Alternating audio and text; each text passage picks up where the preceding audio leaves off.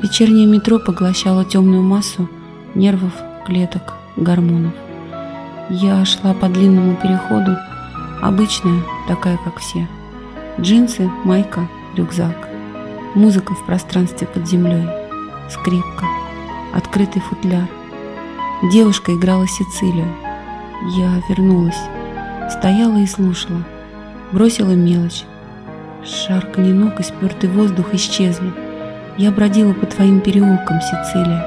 Рядом теплое море, люди, мощенные мостовые, старые крашеные домики, чужие души, чужой язык, запахи моря и жареных каштанов, старые замки, окна и цветы. Мы вместе и не вместе. Мы слишком хрупкие, слишком тонкие. Мы слишком. Вокруг меня вибрации любви, бестелесные и незримые. Вибрации мостов, которые ведут в никуда. Вибрации света, который греет равномерным теплом. Вибрации танцев на битом стекле. Вибрации букв, которые складываются в слова – вибрации цвета, который выстраивается в спектры настроений. Мы — это вибрация космоса, одно дыхание, одна история. Мы — это я и ты, моя Сицилия.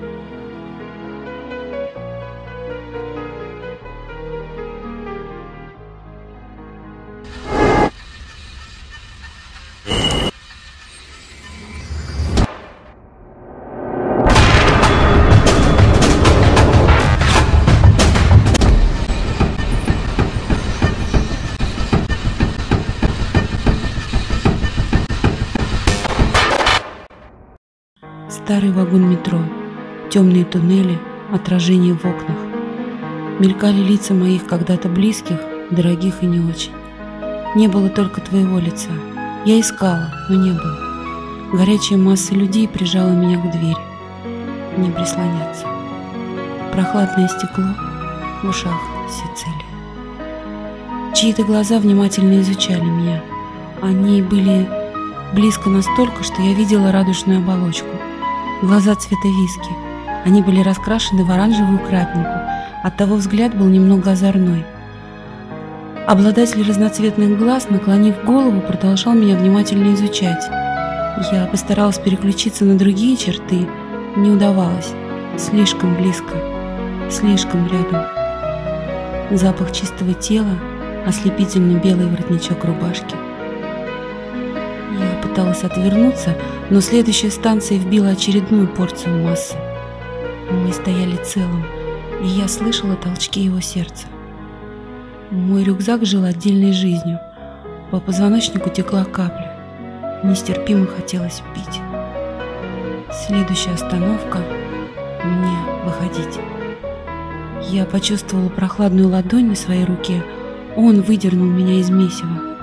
Я на платформе обалдевшая, он напротив в оцепенении, в ушах Сицилия. Нас толкали, а он был по-настоящему красивый, ухоженный мальчик с хорошей кожей и разноцветными глазами. Я встряхнулась и поблагодарила, нырнула в толпу. Экскалатор неохотно поднимал меня к выходу. Тебя не будет ни завтра, ни послезавтра, но я все равно расскажу тебе сегодняшний день. Обычный такой же, как все остальные. Если не напишу, я знаю, ты не спросишь. Ты сделаешь вид, что этого дня не было, но ведь он был, и он еще не закончен.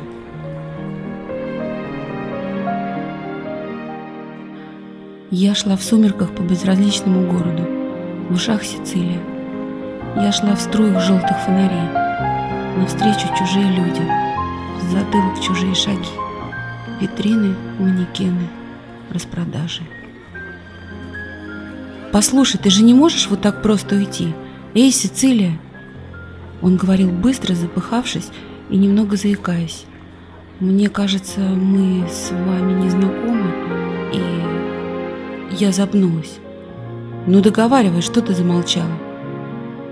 Разноцветные глаза метали молнии. «Почему Сицилия?» Я вопросительно смотрела на него. Я сказал первое, что пришло в голову. Ты красивая и печальная, как Сицилия. Он улыбался. «Ты была в Италии?» Потрясающе красивый мальчик бежал за мной по улице, чтобы познакомиться. Так не бывает. Тебя нет рядом. И так не бывает. Я не понимаю, я не совсем понимаю, что так привлекло тебя. Нас опять толкали, и он опять потянул меня в сторону.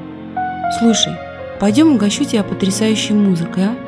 Тут кафешка есть, там играют мои друзья. Пойдешь? Я не хочу слушать музыку и не хочу никуда идти. Мне надо домой. Извини. Но ты не можешь просто так уйти. Могу, почему нет? Потому что так не бывает. Что ты сказал? Так не бывает.